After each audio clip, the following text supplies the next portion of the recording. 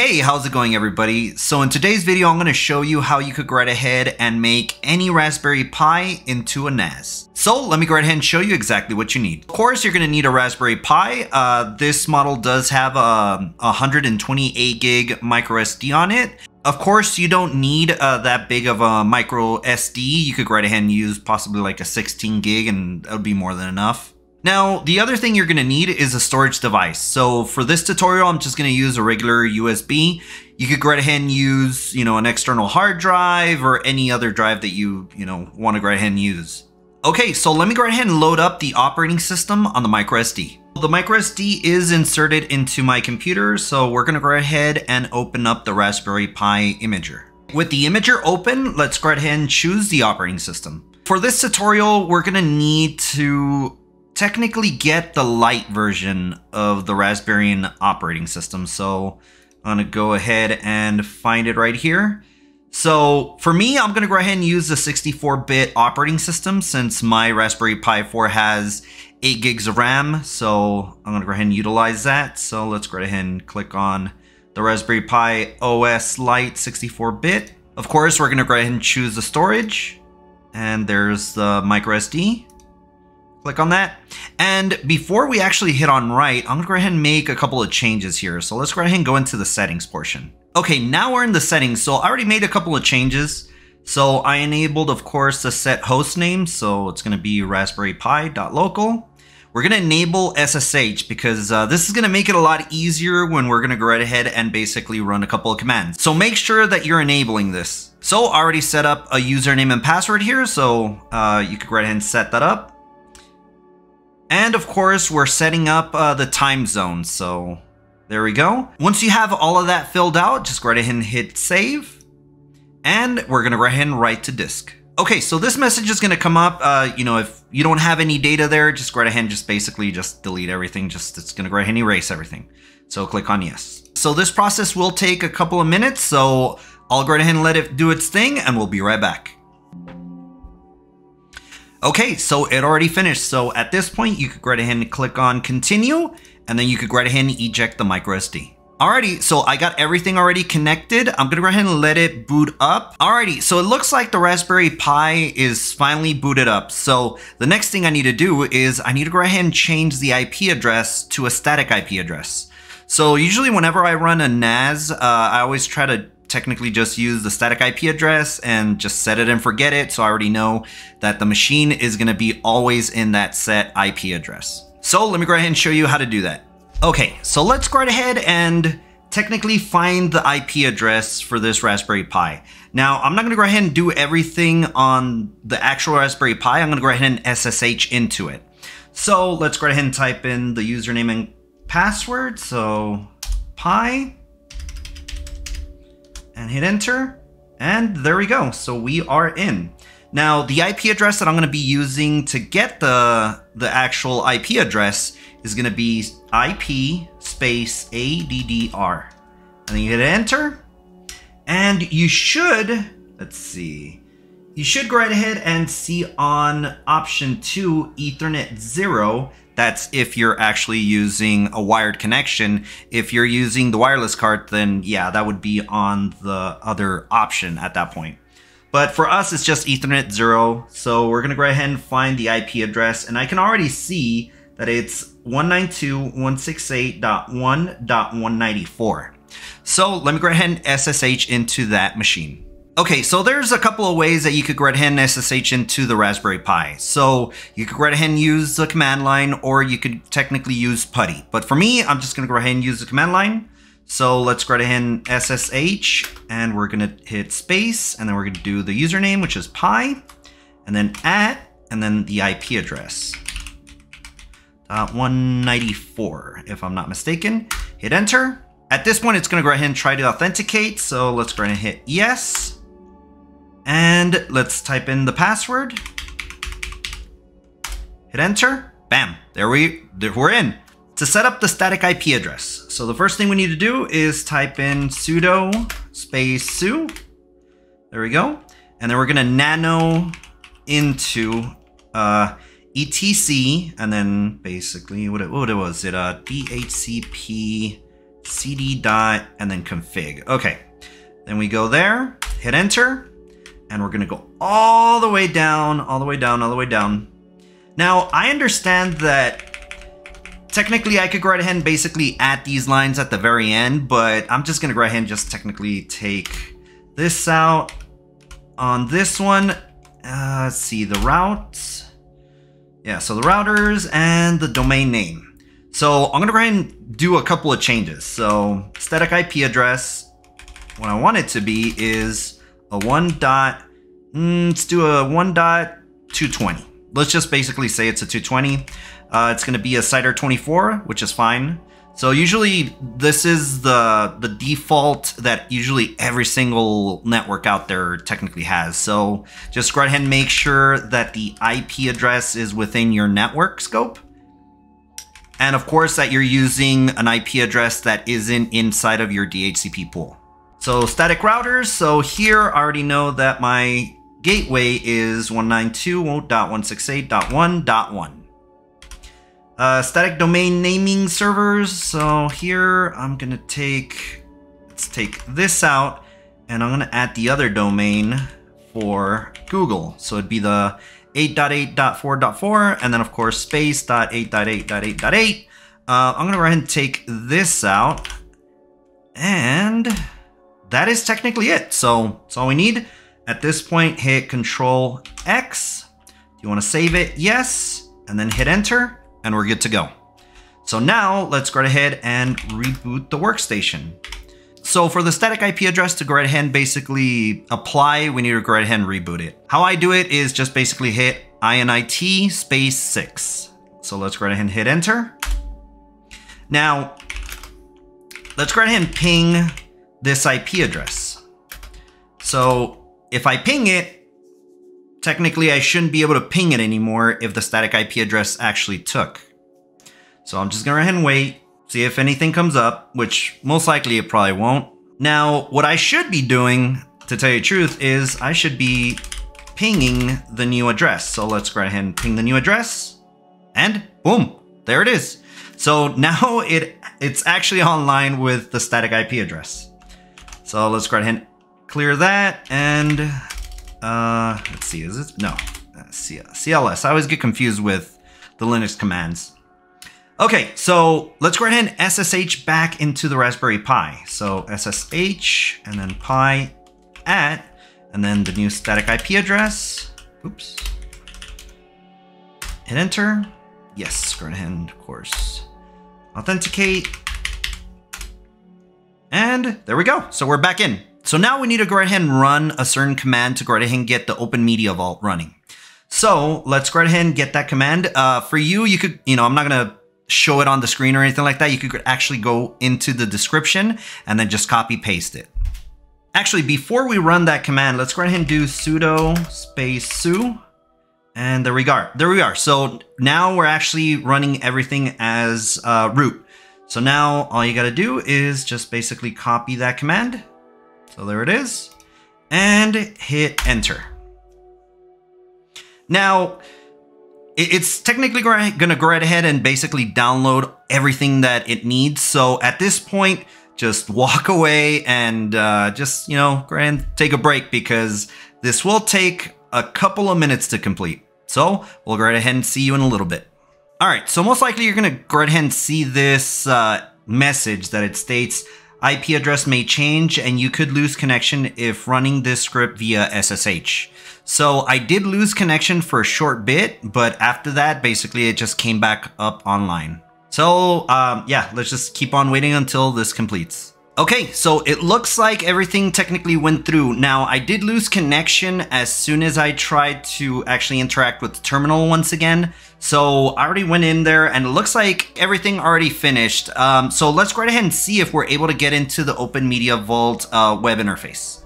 All right, so I have Firefox open. Let's go right ahead and type in that IP address. So it's gonna be 192.168.1.220. Hit enter, and there we go. So Open Media Vault is set up. So let's go ahead and get in there. The username by default is gonna be admin and then the password is going to be Open Media Vault. So Open Media Vault. and then log in. And there we go. So we're we're there. Now, one thing I'm gonna do is uh, I still haven't connected. I still haven't connected uh, this um, little thumb drive. So let me let me go ahead and do that right now. So let's go ahead and start configuring Open Media Vault to go ahead and actually you know become a NAS. So first thing I want to do is um, let's go ahead and create a user first. So we're gonna go over here to users, and let's see. It's gonna be user and as you can already see, the, the actual Pi account is already there. But I'm gonna wanna create another one. So let's go ahead and create a new one.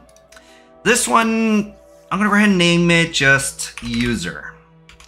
And let's go ahead and do a, let's do a security password. Let's do, there we go, configure. All right, and on the groups, so here, we're gonna go ahead and scroll down until we see, where are you? There it is, Samba Share. So we're gonna go ahead and add this user to Samba Share. There it is. At this point now we could go ahead and hit save. Now it's gonna go ahead and tell you pending configuration changes. Let's go ahead and just basically apply them. And then, uh, you sure you wanna apply the configuration changes? Yes. So now that that user is added, let's go ahead and basically take care of the actual hard drive. So let's go ahead and go into storage and then we're going to go into disk. And as you can see, so it is picking up right here the micro SD right here. So this one's already configured so we don't have to mess around with this one.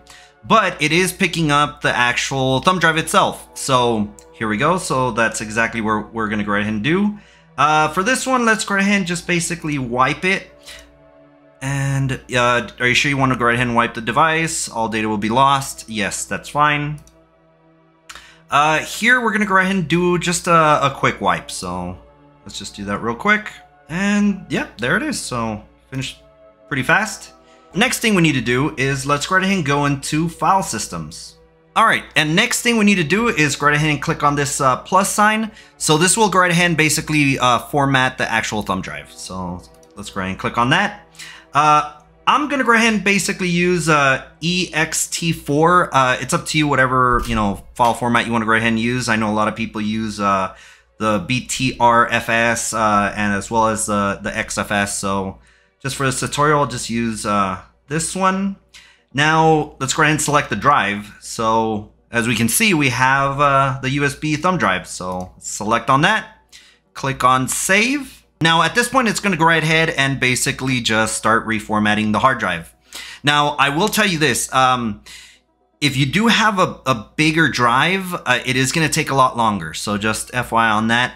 Alrighty, so there we go. So the thumb drive is uh, technically already formatted. So let's go ahead and close. Okay, so now at this point, let's go ahead and mount it. So let's go ahead and select the hard drive. And at this point, that is, yeah, that's all we need. So hit save. There it is. So we do have it mounted and it is online. So let's go ahead and, you know, apply pending configuration changes. Hit on yes. Okay, so the next thing we need to do is we need to go ahead and set up a share. So let's go to shared folders. And here, let's go ahead and create a new share. So name, uh, name of the share for me, let's just go ahead and just do regular share file system. So we could go ahead and basically find the thumb drive, select that. So uh, at this point, this is just going to be how you're going to look at it once you're actually on Windows. That's fine.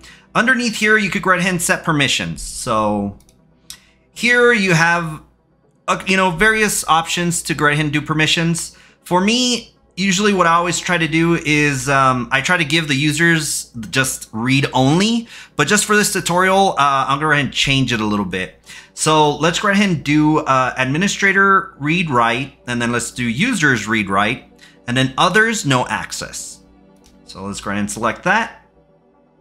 And at that point, uh, we don't need to input any tags, which is fine. And let's go ahead and hit save. Of course, once again, uh, Open Media Vault wants to go ahead and apply the changes. Go ahead and just do that.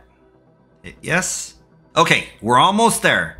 So now that we have everything technically set up, we need to go ahead and enable SM, the SMB service. So let's go ahead and go into services. Let's select the SMB right here. Go into settings. And we're going to go ahead and enable it. This will technically enable uh, the work group. Uh, I just keep it, you know, just default is fine. Everything else, I usually leave uh, this default. So that's technically it for here. So we can hit save. There we go. And then pending configuration changes, that's fine. Let's go ahead and apply it one more time. Hit yes. All right, so there we go. So SMB is technically already enabled. So let's go ahead and actually, I want to go ahead and check one thing. So I want to go ahead and go into the sharing portion. And yeah, so yeah, I completely forgot. So let's go ahead and add that. So uh, share enabled. Okay, there it is. So we do see the actual share itself. So let's select that. So everything here, uh, I'm just gonna go ahead and just leave it by default. You could go right ahead and mess around with it if you want. You know, you could go right ahead and, you know, enable inherit ACLs or inherit permissions if you'd like. Uh, but for right now, technically I'll just go ahead and leave it like that. You can also do uh, add, you know, allowed host as well as deny uh, or add a deny list uh, for hosts that you don't want them to actually get into technically this share right here. So at this point, hit save. Okay, so before I hit apply, I just want to go ahead and show you. So it is enabled, the share is active, and public is set to no, and it is browsable. So let's go ahead and hit apply, hit yes. Okay, so there we go. So that should be it. So one thing I'm gonna go ahead and do is I'm gonna go ahead and basically reboot the actual Raspberry Pi. So let's go ahead and do that right now. Configure and yes. Okay, perfect. So I'm gonna wait for this thing to reboot and then I'll go ahead and show you exactly how to get into the actual uh, share that we just created. Okay, so now let's go ahead and access that share. So let's go ahead and bring up a run command. So if we hit uh, Windows and R on your keyboard, and let's do, uh, what is it, backslash, backslash, and then 192.168.1.220, because that was the static IP address we used. Hit enter, and bam. So we're asked for credentials. So let's go ahead and use, not the Pi credentials, but let's use that user that we created. So it's gonna be user, and then let's go ahead and type in password. At this point, you could go right ahead and click on remember this credentials and then hit OK. And there we go. So you're able to see that the share is there. So if I double click on it, I should be able to access it. Now let's go ahead and start adding some files, or let's see if we can create some files. So we're gonna right click, you know, and then let's just do a folder. Let's just do, uh, rename it to this is a share test.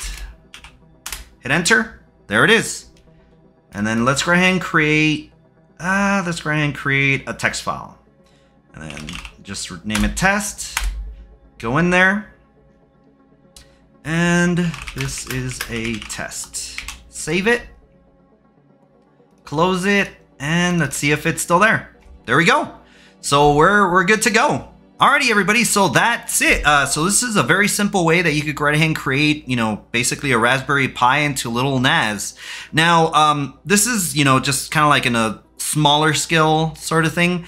But uh, if you want to go ahead and basically learn a little bit more about, you know, maybe using an actual computer on how to set this uh, this type of stuff up, uh, you could go ahead and basically view some of my videos. I know I've done one for, I think, what was it, like my uh, 32 terabyte uh, backup server uh, that technically you could go ahead and check check out that video as well as you could go ahead and basically check out the video for my home server as well now for that one I'm actually using Windows 10 to go ahead and basically perform the shares but at the end of the day, I mean, you can actually use uh, Open Media Vault on an actual computer yourself. So you could go right ahead and follow these steps completely, and you could go right ahead and basically deploy it on an actual desktop computer or laptop. Alrighty, well, thank you very much for watching. I really do hope you uh, enjoyed the video and you actually learned something. Uh, and like always, we will catch you on the next one.